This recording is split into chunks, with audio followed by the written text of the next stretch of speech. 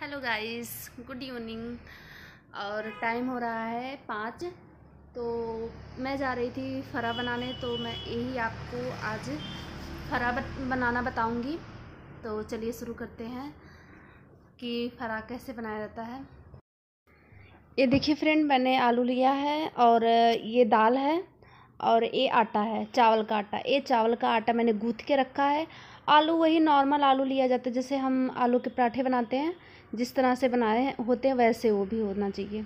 और दाल। और फिर इसके बाद हम ये पानी लिए हैं एक पतीले में, फिर इसके ऊपर ये रख देंगे, जिसका मतलब छेक होना चाहिए। प्लेट में ऐसे बाज़ार में मिलता है, आप लोग के पास होगा ज़रूर। फिर इसको हम गैस पे चढ़ा देंगे पानी गर्म होने के लिए। ये देखिए। फिर इसके बाद अब मैं चल रही हूँ बनाने। तो सबसे पहले मैं चावल का आटा लूँगी और इसको मतलब बेल के काफ़ी लोग हाथ से भी उसको बनाते हैं छोटी छोटी रोटी, पर इसको मैं बेल के फिर बनाऊँगी। ये देखिए, ऐसे करके। और आपका दाल भी वही नॉर्मल वाला दाल होना चाहिए। दाल हो, भिगा लो, फिर उसमें अपना धनिया पत्ती हर एक चीज़ डाल दो। और आलू भी वही नॉर्मल आलू, जैसे आप आलू के पराठे बनाते हो।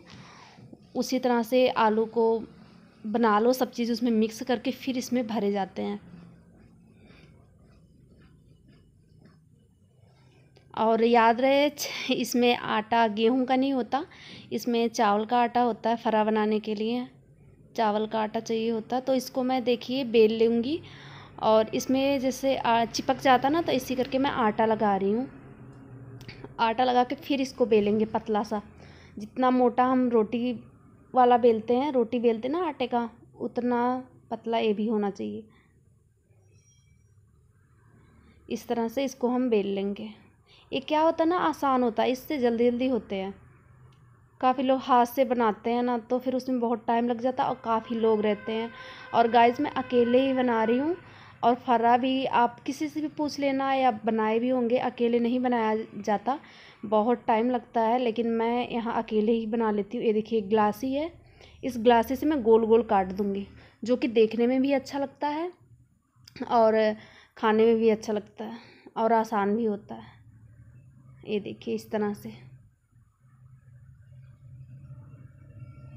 और जो आदमी लोग, और जो आदमी लोग मतलब हाथ से गढ़ते हैं ना बनाते टिकरियाँ, वो फिर बहुत टाइम लग जाता है। ऐसे मैं अकेले ही बनाती हूँ फरा। ये देखिए, इस तरह से। ऐसे करके आप इसको ऐसे हटा दीजिए। आप देख सकते हो कितने आसानी से निकल जाता है।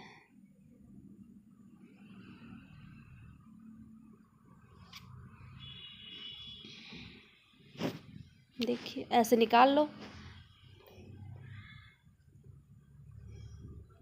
फिर इसके बाद एक एक छोटी छोटी रोटी को अलग उठा के रख देते हैं। और अब मैं ये दाल दाल का जो मैं बनाई हूँ मसाले, अब ये दाल का मसाले मैं भरूँगी इसमें। आप इसी तरह से उसका भी भर सकते हैं आलू वाला। ये देखिए चम्मच लो, फिर इसमें थोड़ा सा डाल के इसको ऐसे बंद कर दो, ताकि हमारा मसाला बाद में गिरे ना। इसीलिए ये बंद किया जाता है।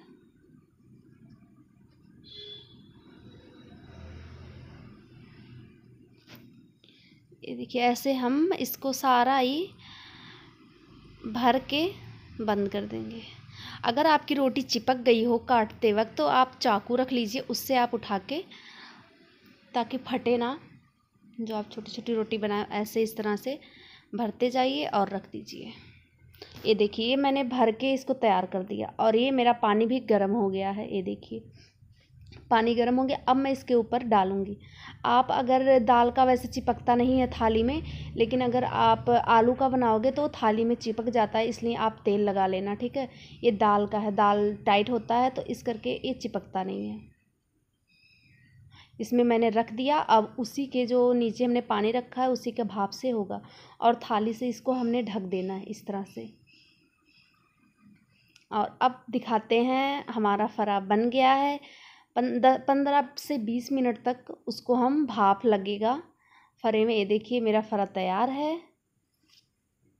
गाइस लाइक ज़रूर कीजिएगा। अगर मेरी वीडियो